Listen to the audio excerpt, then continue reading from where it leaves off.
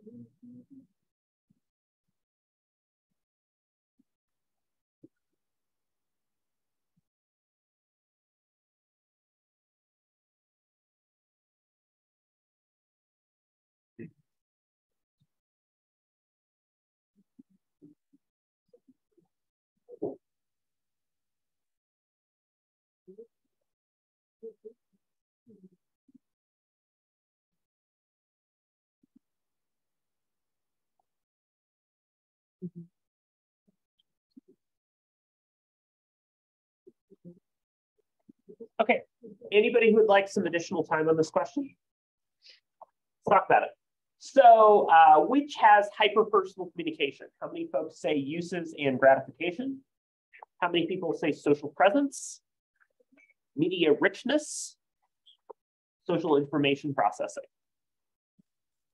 So I'm seeing a lot of missing hands. Are there folks who are having some trouble or questions on these? So the best answer here is social information processing theory. We used time in last Wednesday's class to go over some of these different theories. I know it's been a minute, uh, but I definitely recommend recapping those theories. If you did last week's Canvas prompt, it asked you to contrast some of these theories too. Right? Uses and gratifications theory says that media's role is small and we have a lot of power to choose what media we use in our lives. Good example is um, going to Netflix or a screen, streaming app and getting to choose what to watch. Social presence theory is identifying the role of presence, how uh, involved we are using media. For example, are we idling with video and audio off on Zoom, or are we really engaged in a phone call? Media richness is about how different forms of media might involve more sensory engagement and content. For example, uh, very asynchronous and stilted email versus a very engaged uh, and thoughtful conversation online. Social information processing theory brings forth the idea of hyper-personal communication. And Joseph Walther's argument in social information processing is that media has the power to create relationships that are even closer and more engaged than face-to-face relationships and argues that the dynamic elements of media, if you're playing a game together, you're on the phone together, if you're able to talk with that person online outside of your face-to-face interactions, can be a big step toward creating relationships that are even closer. How many people have seen the movie Her? Heard of that movie?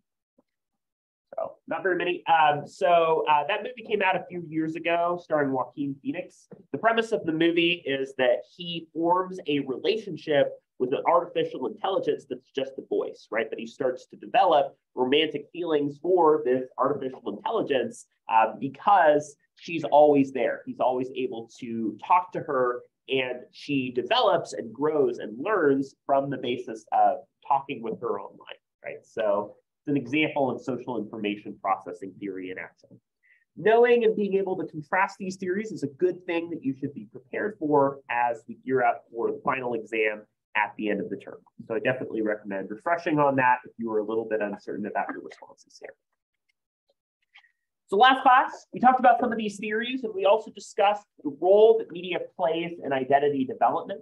We looked at Erik Erikson's different stages of development, the idea that our relationships are shaped by different crises and challenges that we have about identity. For instance, how do I belong in this world? Have I lived a good life? Those are things we find ourselves asking depending on the stage that we're in. And um, we use media as a way to develop and understand our senses of identity too. So this week, we're looking at relationships, understanding some of the characteristics of them, uh, why relationships matter in our everyday life, and also helping you as you're gearing up for your recording and reflection essay to be thinking about some of the ways that these ideas might be relevant to the work that you're putting in.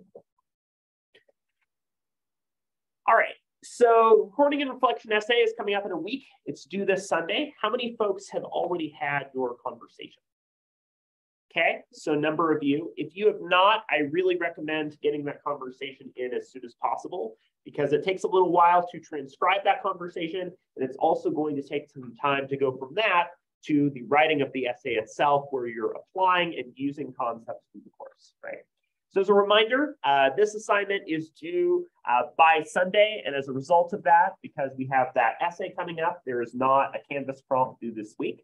Instead, just focus on getting an essay in. Um, if you are in need of an extension due to an emergency or something that is coming up for you, uh, please let me know. Again, I ask you to do so a week in advance. So let me know by the end of the day today if you do need an extension on this assignment. Let me know to when you need that extension and we can work with you on that. I have included the rubric and expectations for the assignment, right? The way that I'm grading and looking through the recording and reflection essay uh, and all of those elements on Canvas.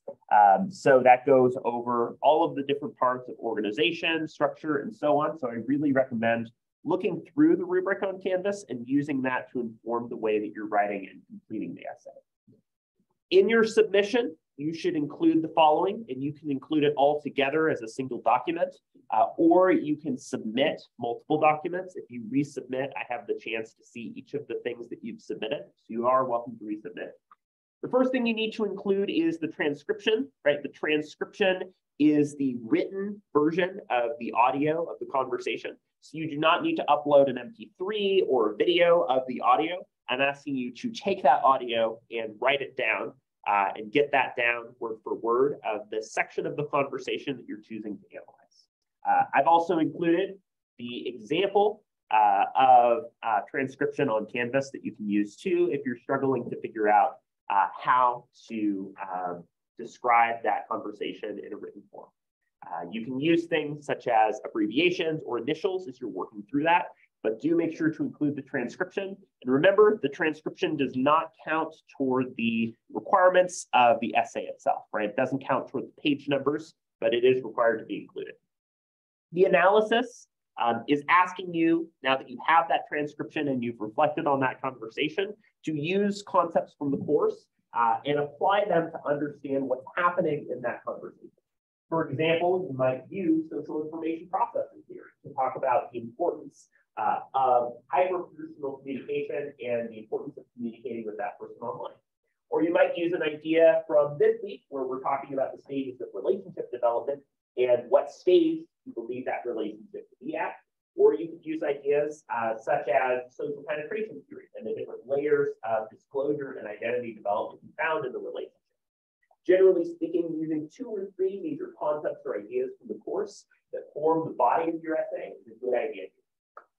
And then um, please make sure that you are including a full works cited or reference list, right?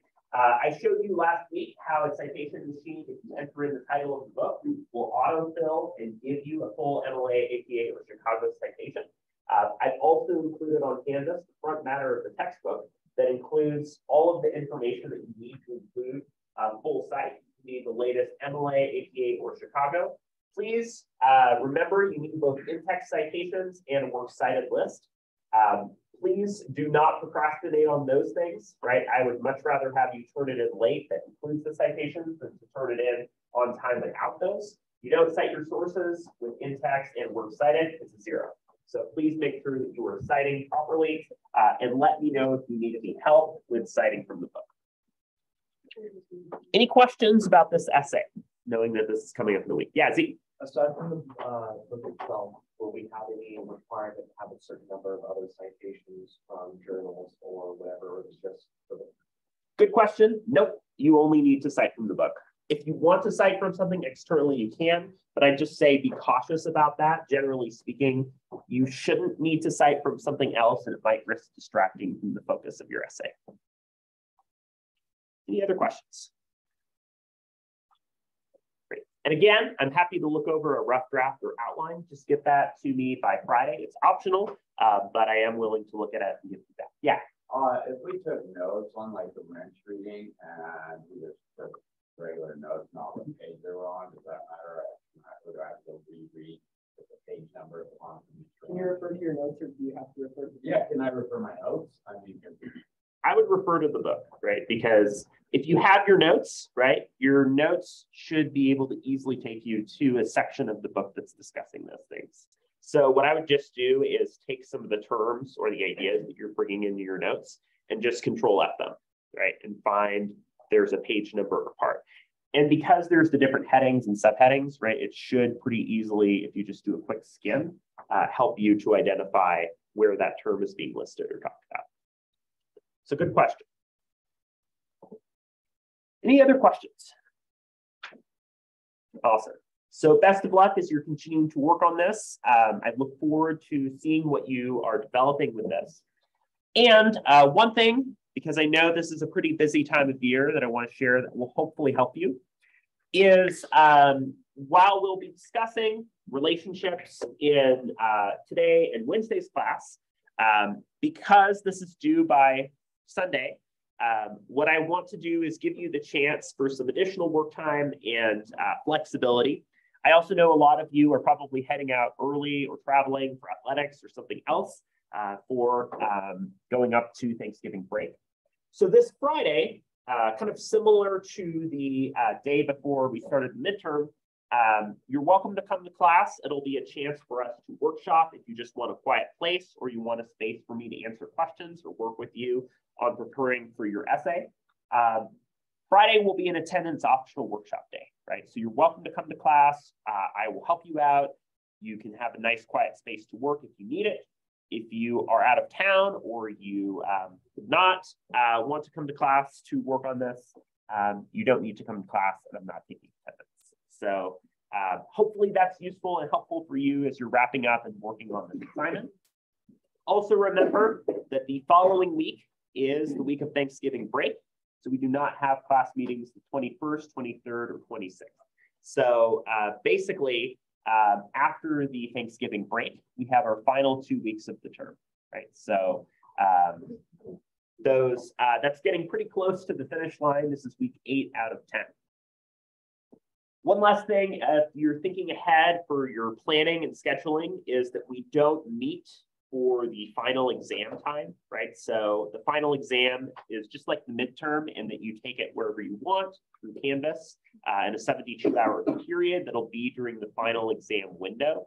Uh, so uh, during that time, you do not need to come to class. Uh, so we'll have, uh, after this week, six more class meetings uh, for the final two weeks. Know I covered some housekeeping and things, but are there any other questions before we get started? I think using, uh, email and whatnot, or whether we have next week off or whether we just. get the- Yeah. Yeah.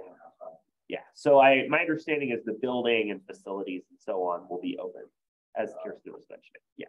So we do not meet for classes next week. Okay. All good questions, thanks for asking. So let's get into relationships, right? And um, if we're thinking about the past couple of years in particular, the ways that we've been navigating COVID, um, our relationships have not developed always the ways that we wanted to. We've lost touch with a lot of friends, people close to us.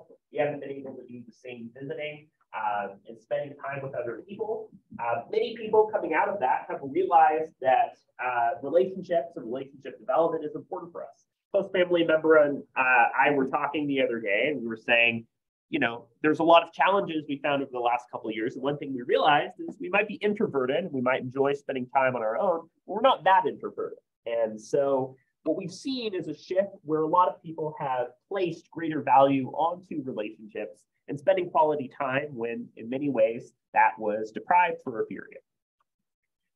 So relationships matter in the context of fulfilling significant human needs, right? Humans are social creatures um, we derive a lot of our pleasure and enjoyment from our ability to connect and spend time with other people. Even if we're more introverted and we recharge by being alone, we still enjoy uh, spending time with other people and developing relationships with other people. We can think back to Maslow's hierarchy of needs. A lot of our loving and belonging needs are associated with developing meaningful relationships with other people. Our ability to connect and relate to other people forms an important basis of how we're able to grow. And interpersonal communication is a huge part of how our relationships happen, right? Our relationships develop through self-disclosure, through facial expressions and nonverbal communication, uh, through the process of learning and understanding other people. But we also communicate about our relationships. For instance, um, oftentimes a refrain in a developing romantic relationship is to say, well, what are we, right? Or asking a question about the label or identifier on a relationship. So not only uh, do we communicate to build relationships? We use communication to develop a vocabulary and understanding of what relationships are and how we can comprehend the relationships that we've developed over the course of our lives. So we use communication uh, to fulfill and understand our relationships. When we think about relationships, right, um, and categorizing our relationships, we think about relationships in a lot of different ways. One of the biggest ways is to think about a duration, right? It's an easy way of defining relationship. How long have you been um, in communication with that other person? One thing that makes a lot of our family relationships unique is that we have had those relationships from a very young age. Somebody has been involved in our lives for as long as we can remember. And so oftentimes that shapes the bond that you form with that person, right? We think back to social penetration theory and uncertainty reduction theory, it takes time to break down walls, to understand and to feel more comfortable talking with that other person. There are just going to be topics that you don't discuss with that person or patterns of behavior that you don't understand uh, that come to be developed over time, right? If we think about this in the context of a lot of our favorite shows or movies, right? A lot of these are based off of characters developing relationships over a course of time on the basis of familiarity.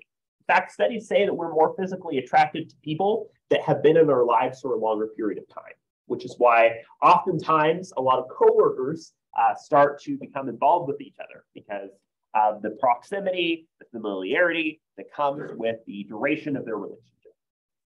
Contact frequency also occurs to how often or long you communicate with somebody else, right?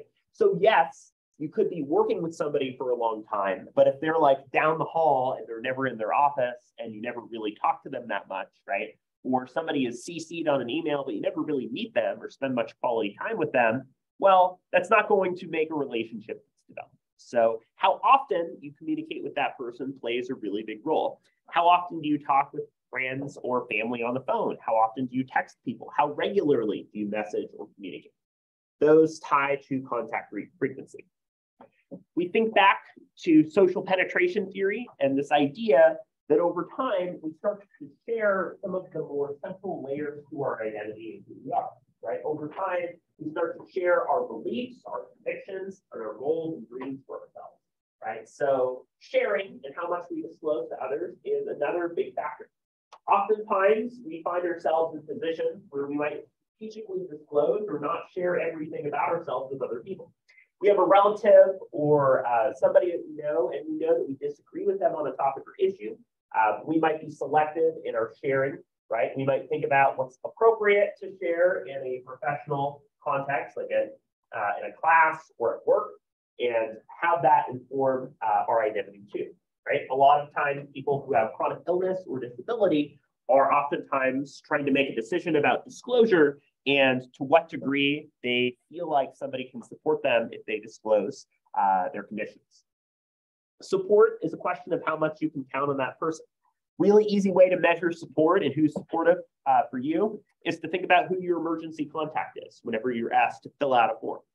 Uh, so support is an important element of our relationships because it tells us who we can lean on and who we can see as a source of that support.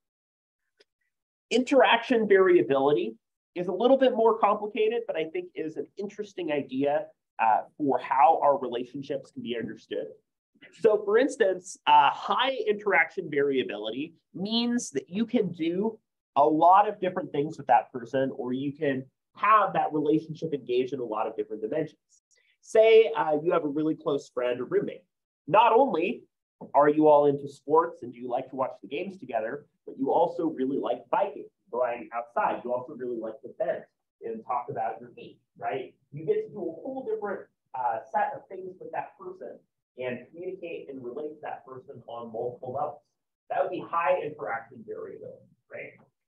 But let's say you have another friend and the only way that you really relate to that friend is that you both uh, really like a certain sports team.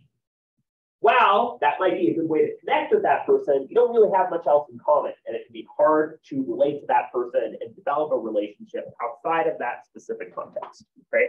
So interaction variability is how differently aspects of the relationship might exist. And then lastly, we have differences in terms of goals, right? So goals um, are about what you and the other person see as the purpose and function and uh, of the relationship and where that relationship might be headed. Really good example of this is uh, several years ago, right? There was a film that came out called Friends with Benefits uh, that uh, had Justin Timberlake, Mila Kunis, and it was right an example of a trend where there were people who were just friends, right, but were sexually involved with each other. Uh, and that was based off of a mutual understanding of what was considered to be the goals of a relationship. Neither of them wanted to be in a serious relationship uh, or to be really romantically involved, but they were interested in that kind of contact with each other? Oftentimes, we have friction in our relationships if we see a mismatch of our goals uh, with the other people, right? So a lot of the drama, if you could imagine from that film, is that uh, they start to realize that they want something else, but what does the other person want, right? Or uh, maybe you're regularly in touch with a friend, but that person is texting and messaging you constantly, and you kind of want them to back up a little bit and give you some space, right? So you might have different expectations, and you might choose to share them and say, "Hey, uh, I'm really busy, I'm not really able to talk as much, right? And your goal is a little bit more based on autonomy. Uh, or maybe you choose not to disclose and share uh, a difference in goals that you have, right? Communication is a way that we can understand some differences in terms of the goals and beliefs that members of a group might have.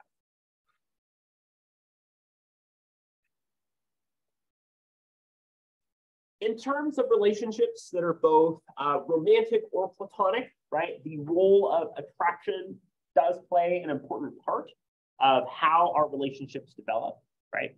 Uh, physical attraction, um, whether or not we find somebody to be aesthetically pleasing, uh, is an important element of relationship development.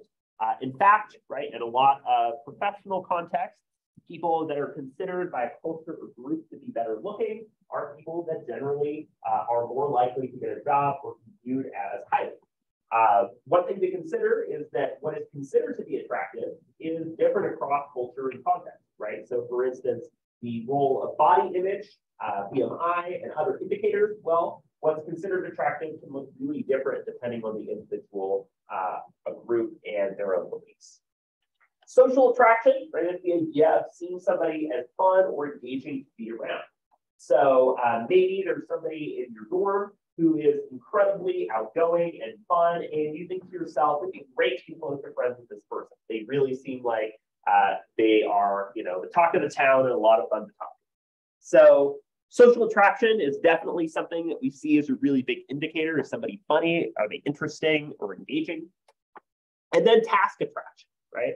Is the idea that we're drawn to somebody uh, who has specific knowledge or expertise uh, that is able to help us with uh, specific goals or things that are important in our lives from a kind of basic level, right? We as human beings are going to be drawn toward people that we feel like can mutually protect or support us and support what we're doing in our lives. So task attraction um, is oftentimes a survival strategy that we'll use. Uh, so for instance, if you're struggling uh, with uh, an issue with technology, right, you would be attracted towards somebody who would be able to resolve that issue. So if somebody is really good with computers, right, uh, and you have a friend who's able to help you resolve that issue, you're drawn to that person on that basis.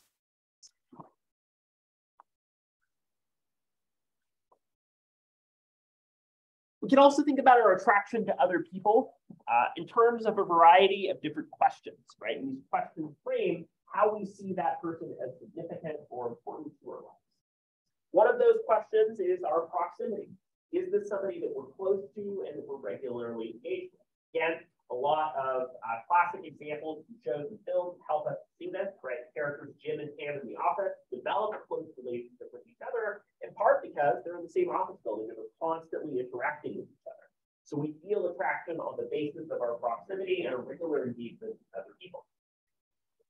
As human beings, right, we like patterns, we like predictability. And so the more we feel comfortable and able to predict what a person's going to do, the more we're willing to let our guard down with that person. Our physicality deals with this idea of an active presence with that other person. Again, this gets to the idea that if we're engaging in meaningful or perhaps even hyper-personal communication with that person, that plays a really big role. A lot of how things like catfishing work is that it's regular contact and communication and uh, messaging with that person. You really feel an active presence with that person who doesn't turn out to be who they say they are. So a lot of people are shocked when they're catfish because they think, I thought I knew this person. I don't understand. Perceived gain uh, is an important element too. At some level, right, we have relationships that fulfill needs for us. There is something that we see ourselves as getting out of our relationships. And no, we're not necessarily calloused and detached, right? We don't say, hmm, is this friend beneficial to me? Will my net pleasure go up by spending time with this person, right? It doesn't work like that. Um, it's not a video game. But um, at some level, right, there is something that we see as good or positive in our relationships. Our similarities and differences with that person. Um, are we interesting? And do we find that other person as also uh, interesting to us, right? So there is, of course, a whole debate and discussion about whether or not opposites attract.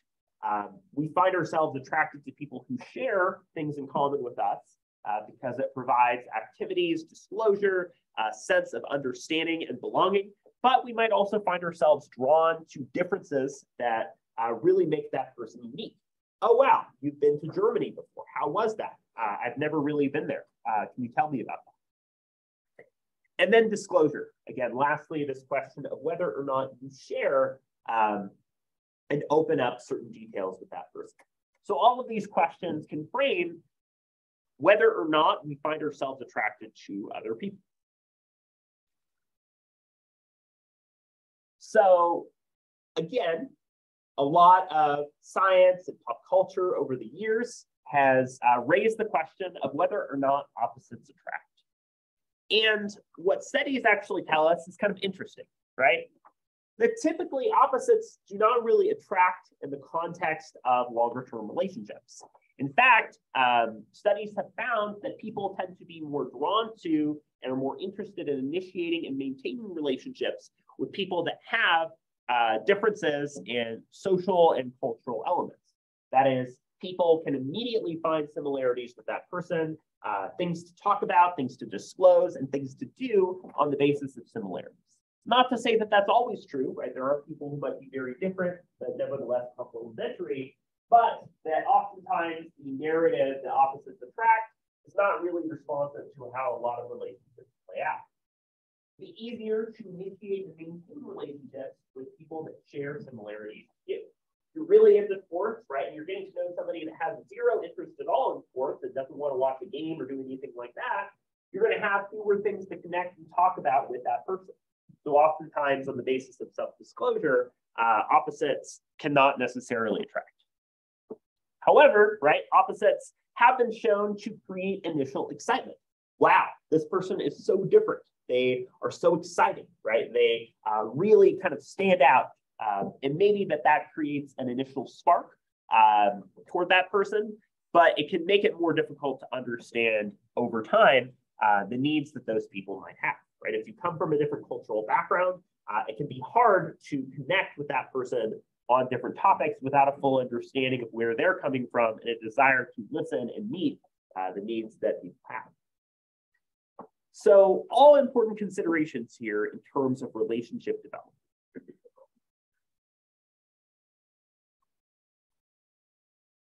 So another theory that can be useful as you're preparing the exam and thinking about um, how to use these ideas um, is this idea of social exchange theory. So exchange theory is essentially saying that we are constantly making calculations about the relationships that we used to have in our lives, right? Um, in other words, we are comparing our relationship to alternatives, um, whether or not we have different relationships or we don't have any relationships at all. And there's a formula that we use to determine the value of our relationship, right? we might say that the value of our relationship is equal to the positive or benefits minus the cost or negative parts of that relationship. We take the sum and we determine is our relationship net good or net bad to have, right? And as you can probably guess, this theory has generated a lot of critique. We as humans don't mathematically say, well, I think that you have 22,000 positivity points and 15,000 negative points. So I think overall I'm going to spend the afternoon, right? We don't do that. That's weird. Uh, but uh, what this theory does say is that we're less likely to continue relationships if we feel like those relationships are being directly harmful to us. So um, you might be familiar with the phrase, uh, a good relationship um, is at the top, no relationship, and then a bad relationship is at the bottom. Right? Ways we might do this might include ghosting a person, right? No longer communicating with that person, um, reducing what we share with that person, um, becoming a little bit more distant, um, or um, outright uh, ending a relationship that we see as no longer beneficial. And we can think about this mutually as well, right? Maybe you and a friend were good friends in high school, but you've gone in very different directions, you don't have much in common, and you disagree on a lot of things. Maybe you decide that it's time to move on and do things differently. So social exchange theory is really trying to understand um, why we choose to have the relationships that we do. And there's also a lot of alternative explanations for why we continue to have relationships that might be negative. Um, in a lot of cases, right, survivors of uh, abusive relationships remain in relationships um, because it's necessary, right? Because it's crucial for survival and well-being um, compared to the cost of the alternative, right? Um, so we have to consider the role of somebody's autonomy and ability to manage a relationship in their decisions. Uh, but at the end of the day, right, we are thinking about what our relationships are bringing to the table. Um, so, um, you know, common phrase a lot in Gen Z, right, is to describe a relationship or individual as toxic, right? You're toxic. I don't want you in my life. That would be an example of social exchange theory by saying that the costs outweigh the benefits of that relationship. So we might continue to have relationships that are a net negative for us. We don't necessarily engage in a callous way of making those calculations, but we are considering how we maintain our relationships and contact with other people on the basis of the benefits versus the costs that we might be considering. You might be familiar with the phrase birds of a feather flock together, right? This is the similarity thesis that we're drawn to relationships among people that have a variety of similarities uh, to who we are, right? So uh, one way this can be supportive is validation. Maybe you're really supportive of a local sports team that doesn't do so well, doesn't win very many games, right? But you keep um, hoping that they succeed each time. If you have another friend who's a fan, right, they can affirm and support your perspective. They can say, hey, I feel you. I really wish they won. Predictability is, again, a question of safety. If somebody is predictable, if what they say and what they do can be considered consistent, we can feel comfortable around that person. Again, oftentimes we feel really uncomfortable and disoriented by a person who says or does something that is totally outside of what we expect. Like they start yelling and screaming, and we've never seen them do that before. And then affiliation is this idea of a sense of shared identity. Do you have a set of similar experiences? Maybe um, you're also a fan of this team and you wear the same jersey, right? Um, you have a sense of common experience with that person. And again, this is not to say that relationships um, across different cultures and contexts aren't good, because absolutely there are a lot of relationships that are very different in terms of culture, identity, and background. Just to say that the ability to generate a sense of shared identity might be unique to that couple or uh, group of people, right? That over time, members of a group develop affiliation, but there might be uh, additional upfront work that's required to develop this sense of shared identity.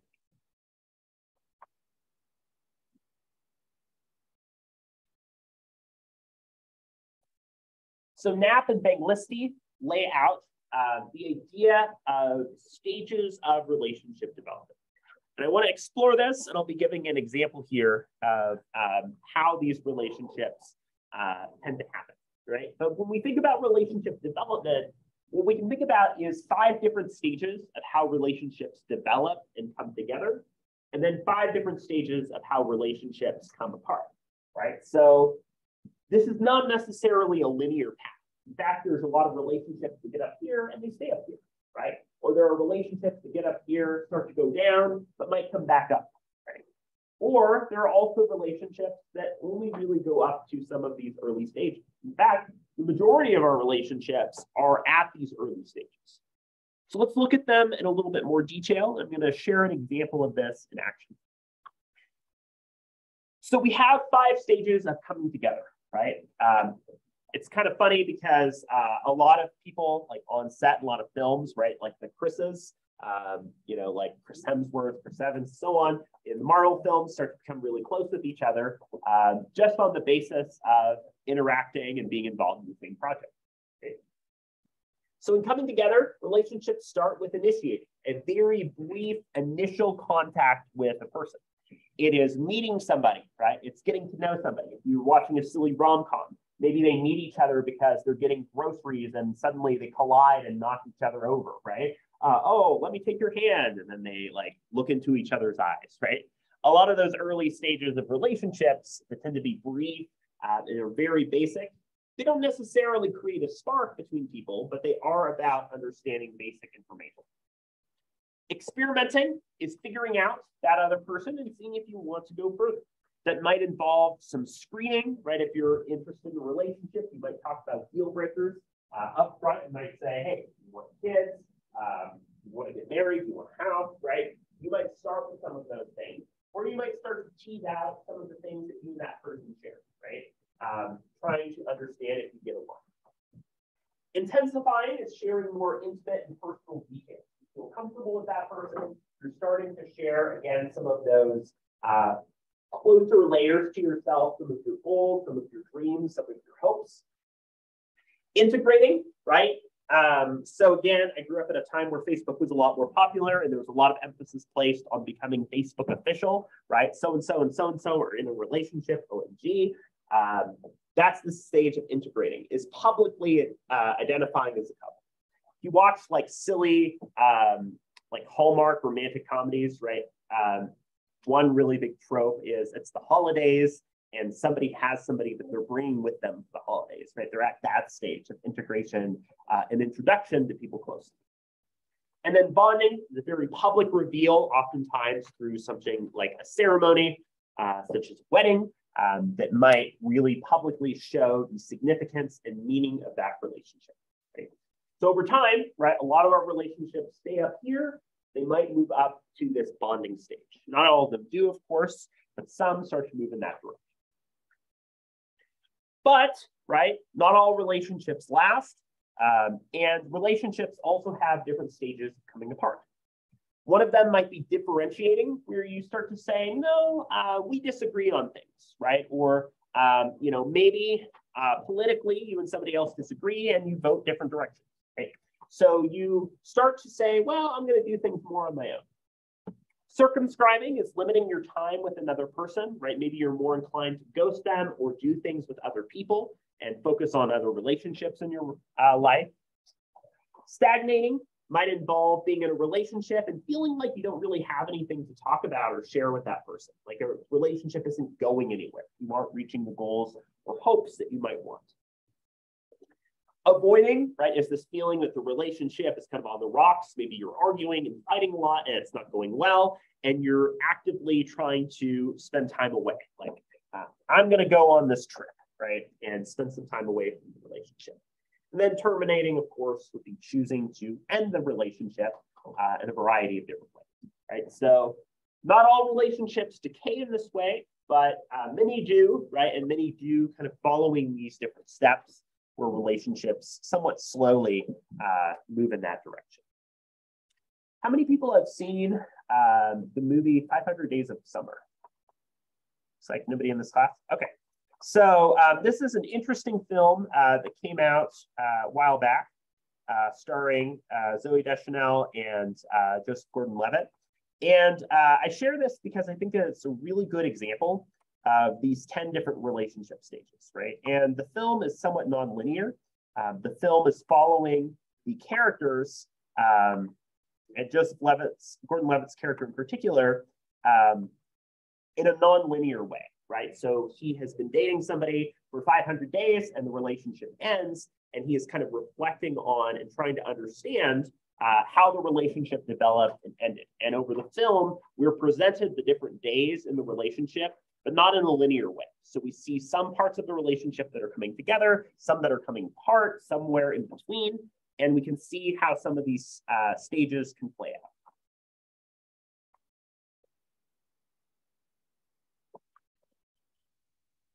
I love this man. I said I love this man. You, you, you, so initiating. This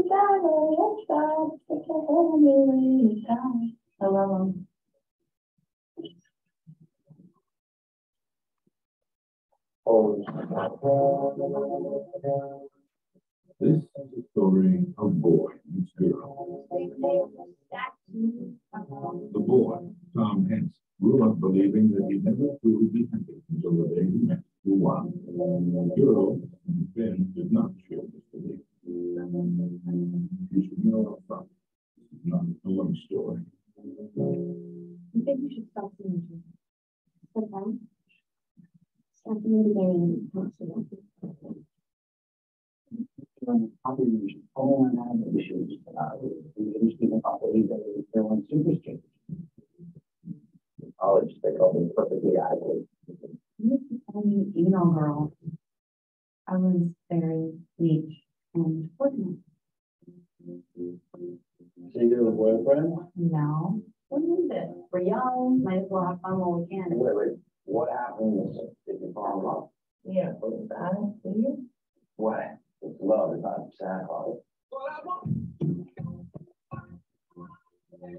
It's official, I'm in love with Donna. I love how she makes me feel.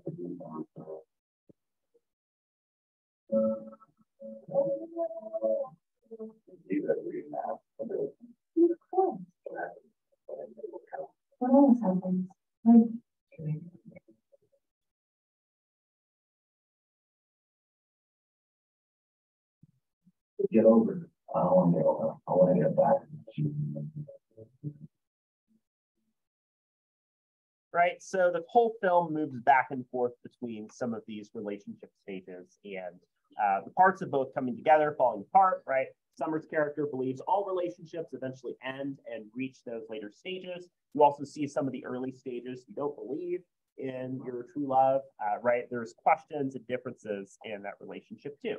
Again, an exploration of how relationships start and end. We'll talk a little bit more next class about the role of relationship maintenance, this idea that we use strategies in order to help to uh, work on our relationships. So what I want you to do um, is take some time here in the remaining few minutes that we have, um, and let's just focus on these first two questions here. So think about a relationship that you have in your own life. Uh, where does this fit in the 10 different stages of relationships that we have talked about so far? And what are some of the major things that you and that other person gain from the relationship? So uh, take some uh, time to think about this.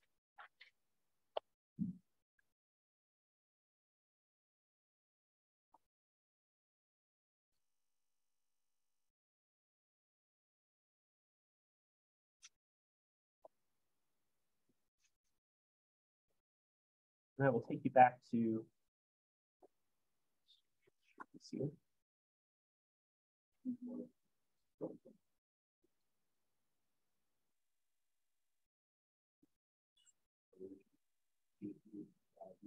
one, I really wanted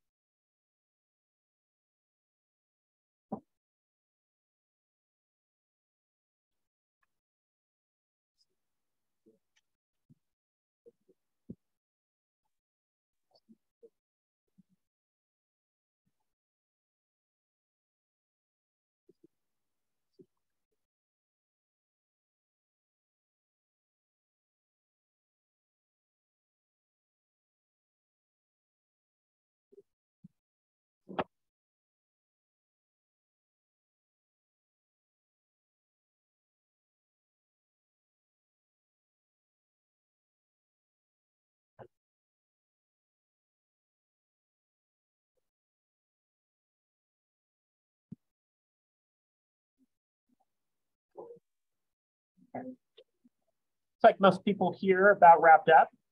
So um, remember for today to continue to work on and develop a game plan for completing that essay. Let me know by the end of the day today if you need an extension. Talked about some of the elements of relationships, including the stages of coming together and coming apart. We'll talk a little bit more about relationship maintenance and a couple ideas we couldn't get to uh, next class. Um, once you have finished this, please pass forward or email it to me. Have a great rest of your Monday, and I'll see you again for Wednesday's class.